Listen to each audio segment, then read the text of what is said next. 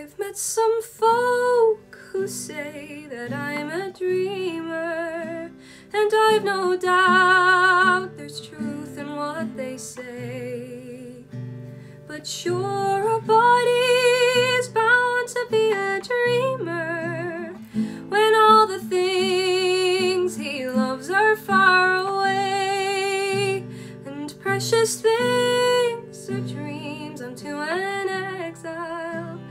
Him o'er the land across the sea, especially when it happens he's an exile from that dear lovely Isle of Innisfree.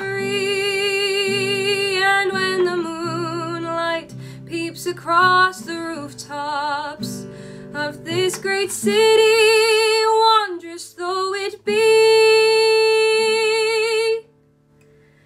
I scarcely feel its wonder or its laughter. I am once again back home.